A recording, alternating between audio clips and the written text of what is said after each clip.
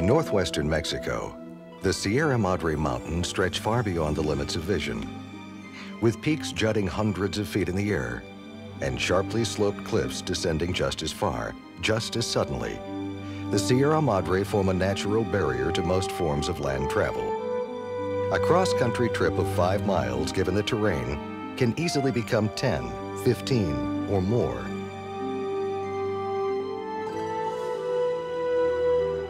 Even now, wind and weather continue the slow process that began long ago, sculpting the landscape into impossible, sometimes haunting shapes. Usually, we think of Mexico as warm and dry, and it is, sometimes. But many thousands of feet above sea level, the seasons here are much like those in the northern United States. Warm summers, cold and snowy winters. Although it's only 300 miles south of the U.S. border, this place could be one of the most primitive regions in North America. And yet, for some people, this is home.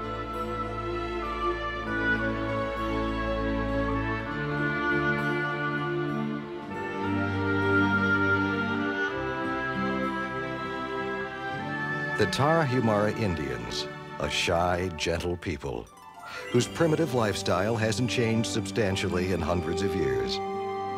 Even today, many of them are cave dwellers, with homes nestled high in the mountains. Others live in more traditional but not particularly desirable surroundings. Tiny handcrafted structures with dirt floors, no plumbing or electricity. Often they'll share this confined space with not only children, but perhaps elderly parents as well. The home might be the center of life on a small farm, two acres or so, where the family grows corn or beans and tends to a few animals. Their diet is almost exclusively vegetarian. Sheep are shorn for clothing and blankets, a few chickens might be raised for eggs, and goats are raised exclusively for fertilizer. Here, prosperity isn't measured by the size of your home or the number of things you own. Most people don't have much to measure. In this society, success is defined in far more basic terms. Very simply, having the essential skills necessary to shelter and feed your family. Nothing is wasted. The camera crew has just shared some fruit with the Tarahumara guide, and almost instinctively, the man takes the time to clean and dry the seeds and tuck them carefully away in a leaf, in the hope that he might be able to plant them and one day share this meal again. After hundreds of years in this isolated place, the Tarahumara understand the meaning of self-reliance. They make their own pottery and baskets for storing and serving food, and clothing and blankets for protection from the elements. Their Spartan lifestyle centers on essentials, on needs rather than desires. A discarded oil drum might become a pot for cooking, a pine cone serves as a brush and comb combined. Handmade musical instruments provide one of the few forms of recreation, as well as the ritual accompaniment in ceremonial gatherings. One writer, sharing his observations on the Tarahumara in the 1930s, wrote in part, this race has for 400 years resisted every force that has come to attack it. Civilization, war, winter, storms, animals, and the forest. For the most part, the forces that have come to attack the Tarahumara have been tamed, animals certainly, and the forest in particular. The land which provides food, shelter, and the raw materials for a barter and subsistence level economy. And certainly the Tarahumara have resisted our notion of civilization. But some forces take more than tradition and a strong will to overcome. Disease, for instance. Here, only 300 miles below the U.S. border, the litany of illnesses reads as though it were something from another time and place. Malnutrition, scurvy, beriberi, dysentery, parasites, pneumonia, tuberculosis, even polio. Today, and largely as a result of one man's work, there's an effort underway to help these people. When Father Luis Verplancken, a Jesuit priest, first arrived here, he saw a culture on the verge of extinction. Food and water were rare commodities. Healthcare was almost non-existent, and the infant mortality rate was staggering. 80% of the children would die before reaching age five. Verplancken first established a mission here in the early 60s, and then lacking the funds he needed to build a permanent healthcare facility, he improvised. For many Tarahumaras, this Jeep brought the first encounter with visitors from the outside, visiting healthcare professionals, and the only access to modern medicine. Where before, disease among the Indians almost certainly led to discomfort, disfigurement, or death, there was now at least the hope that things could change. Father Verplancken's traveling healthcare facility wasn't very traditional, but it was efficient. Here, a dollar's worth of penicillin was enough to treat hundreds of infants who might otherwise perish. It wasn't long before word about the four-wheeled clinic began to spread, not only among the Tarahumara, but also in communities in the United States. The result? Eventually, enough donations by 1964 to establish a small hospital in an old railroad warehouse in nearby Creel. And enough publicity by word of mouth to attract patients who might walk for as long as three days through the mountains to get there, often carrying a sick child all the way. As hospitals go, you couldn't get much more basic than this. The waiting room was a small porch. The hospital itself was always either crowded or overcrowded and there were no surgical facilities, not even a constant supply of fresh running water. Clearly, by U.S. standards, the hospital was less than perfect, but compared to the Jeep or nothing at all, that small hospital was a monument to the need that existed. And in many ways, it was a cornerstone for what was to come. As the demands of the facility grew, so did the need for a constant clean water supply and so did Verplancken's vision of a larger, more modern hospital, one that could treat more patients and more serious cases. But for the moment, the most pressing need was simply water. The odds against the priest and his group were enormous. The nearest freshwater supply lay four miles away and at a different elevation. Money? They had none so against the odds. And with the continued help of donations and volunteers, they began work on a pipeline that would later stun the American engineers who came to see it. The finished product wound its way across four miles of jagged rock, up a 600-foot elevation, and through three handcrafted pumping stations. It was a masterpiece of engineering and economy. It was built for $60,000 and valued by U.S. engineers at close to $3 million. But that wasn't the point. The point was the town of Creel and the Children's Hospital now had their first dependable supply of fresh water. And that was just the beginning. Now, with a continuous link to this most precious commodity of all, it became easier to dream even bigger dreams.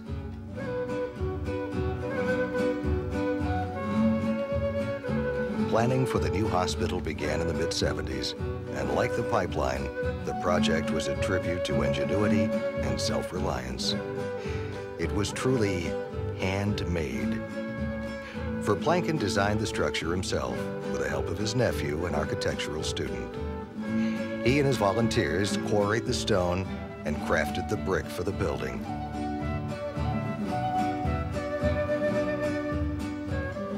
Later, the people turned their energies to cutting trees, hauling logs, and sawing timber to complete the structure.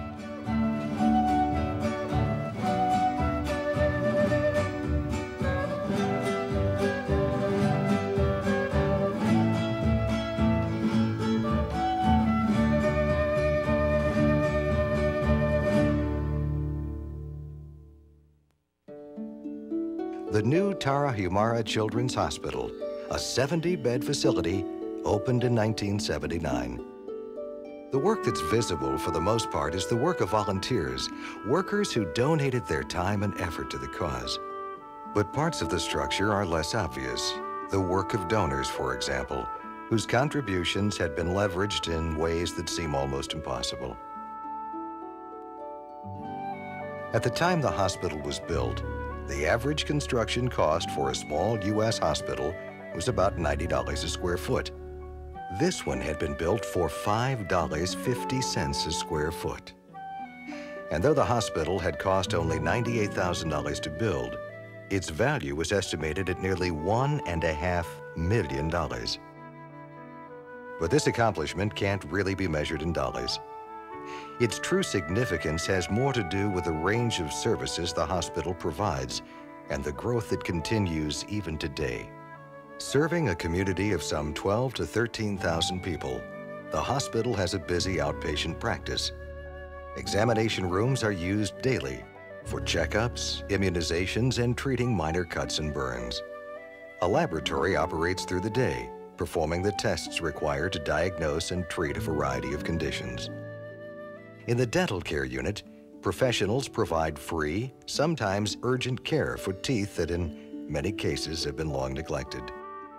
Sometimes, a checkup might suggest an x-ray, which can be taken right down the hall and processed and read immediately using equipment and supplies that have been donated over the years by various manufacturers, suppliers, and benefactors. The staff consists of doctors, nurses, nuns, and others who either volunteer their services or work for a fraction of what they might earn elsewhere. The few patients who can afford to pay for treatment, mostly Mexicans living nearby, are asked to pay only what they can afford, more of a donation than a fee. And usually the payment amounts to only a small portion of the cost of care. In fact, more than 90% of the services the hospital provides are offered free. Some of those services are basic, but essential, like the hot breakfasts, lunches, and dinners cooked in the kitchen. Others are far more sophisticated, like the surgery performed in this operating room. Often the most seriously ill patients are the youngest ones, the ones who can't always tell you where it hurts, how badly it hurts, or how long it's been hurting. Some of these children appear relatively healthy at first until a checkup, x-ray, or lab test turns up signs of tuberculosis, heart or kidney failure in the early stages, or perhaps even brain damage from prior untreated infections. When the children are brought here in time, the results can be truly remarkable. This six-year-old weighed only 18 pounds when she was admitted. But with the loving care given to her in the hospital, she was eventually able to go home. This child, his frail features contorted from starvation when he arrived, was ready to leave the hospital only weeks later. And another, her malnourished body ravaged even further by ulcerated burns, might have been found lifeless in the mountains one day. But instead, someone brought her here. It took dedication, donations, and volunteers to build this hospital. Men and women who knew how to approach difficult problems with unconventional, creative solutions. And today, it's that same spirit that keeps it running. You see it in the people who operate the St. Jude Express, based in Albuquerque, New Mexico. These pilots accept no pay for flying into the mountains each month and landing their fragile craft on a small, crude airstrip. The cargo? More volunteers. Visiting medical professionals who bring critical skills along with critically needed equipment and supplies. In addition to treating patients, and together with Father Verplancken and his staff, they review hospital records, inventories of equipment and supplies, and the needs of the hospital pharmacy. Some choose to stay on for quite a while. Mary, a California pharmacist, volunteered to stay in the region for a year. That was more than 25 years ago. Today, this pharmacy dispenses 9 to 10,000 prescriptions or more each year. And unlike the refills we're accustomed to, patients are usually given enough medicine for a complete treatment. Because here, when a patient leaves the pharmacy, home might be hours or even days away. Father Verplancken and his people built the hospital to treat the outcomes of poverty, starvation, and disease. They built the mission schools to treat the causes. Here, in the purest sense, education means survival. Children aged 6 to 8 attend classes taught in their native language.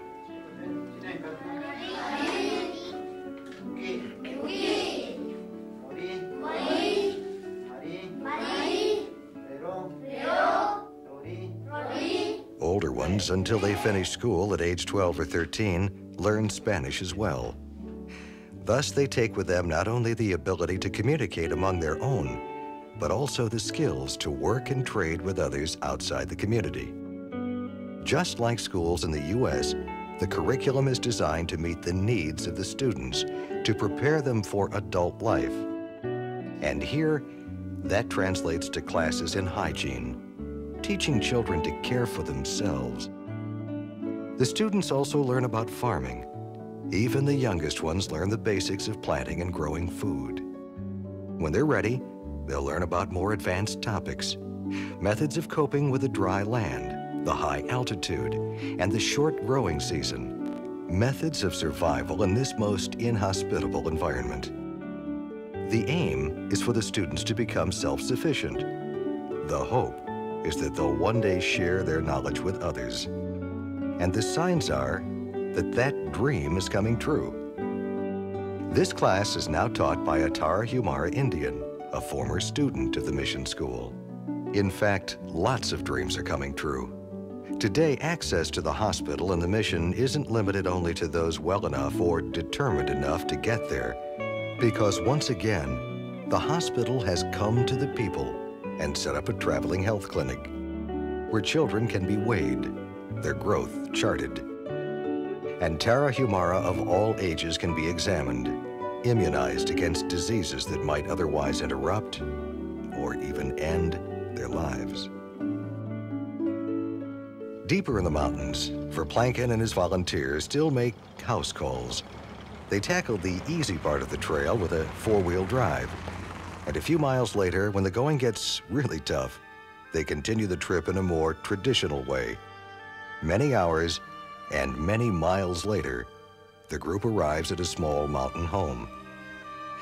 The doctors and paraprofessionals check each family member and dispense medicine if necessary.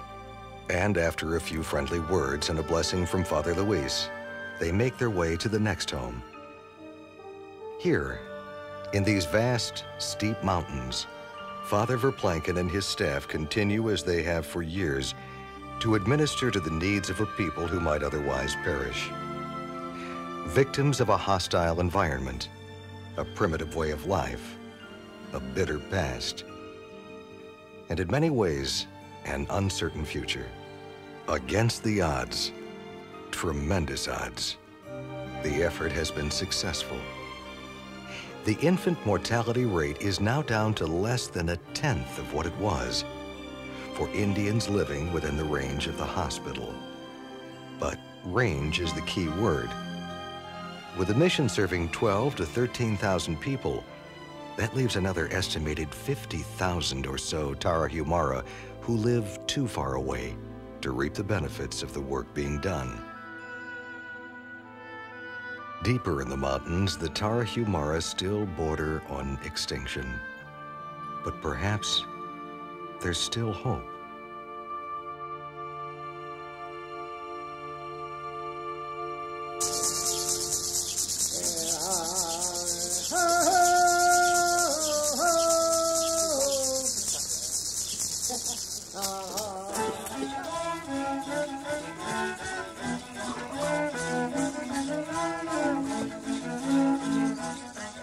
Today, there is a celebration on a day as important as this one, tradition dictates the music to be heard, the instruments played, the songs to be sung, the dances danced, even the food that will be eaten.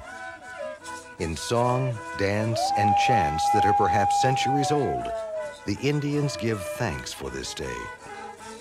Eventually, the Indian ritual gives way to another celebration, one that's many years older than the Indian rites and far more familiar in Western culture.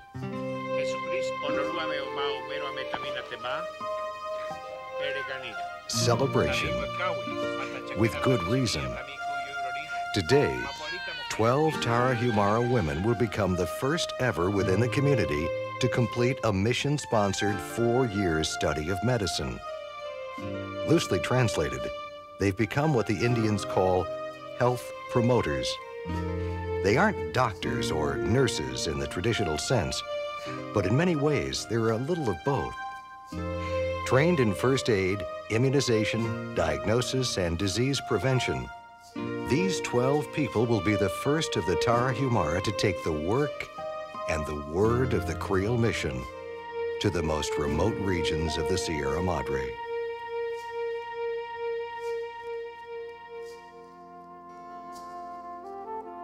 Looking back, there's a lot to be proud of, a lot to be thankful for. Today, more children are surviving, children who might have perished only a few years before. And as more and more of those children pass through the mission school, there's the hope that future generations of Tarahumara will be better equipped to help themselves and one another. Maybe some will even save lives on their own. But tomorrow the work goes on. Improved farming methods and an increased knowledge of farming will help these people make the best of what they have. But there isn't much that can be done about a short growing season, and there's virtually nothing that can be done to change this barren landscape into what we would think of as productive soil. And so malnutrition is still widespread among the Tarahumara. As the hospital treats more and more patients, either in the hospital or in the field, medicine and medical supplies are consumed and need constant replacement.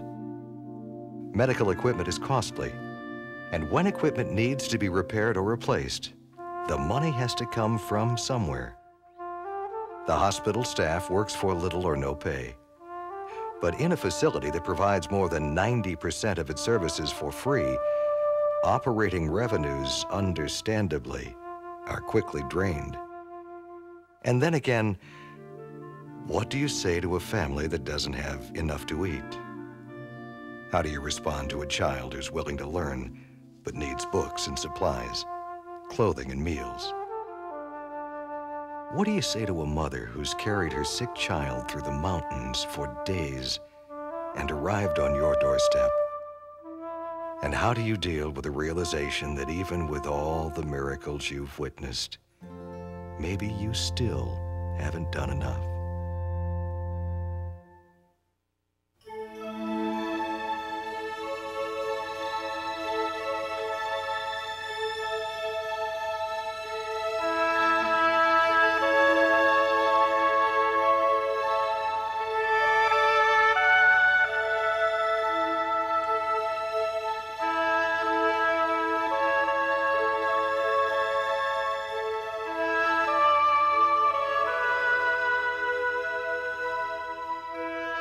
This lifetime, most people will never have the privilege of saying they've saved someone's life. Your generosity can give you that privilege. If there is any truer measure of the human spirit than what one does, it must be what one gives.